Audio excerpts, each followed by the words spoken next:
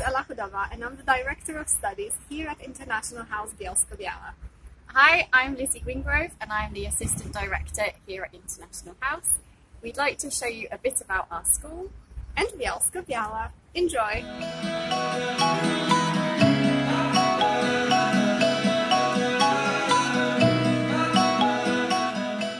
What I love most about Bielsko is the mountains, uh, which are nearby.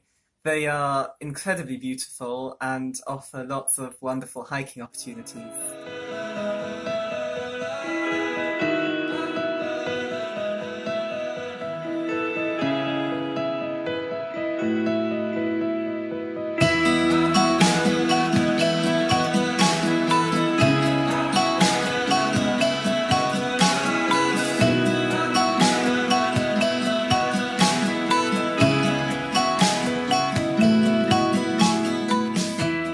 Heart of Europe, so there are lots of great travelling opportunities. You can visit many beautiful cities such as Krakow, Warsaw, Prague, and Budapest.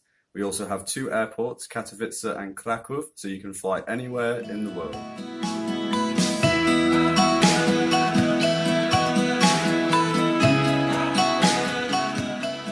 What do you like about Bielsko?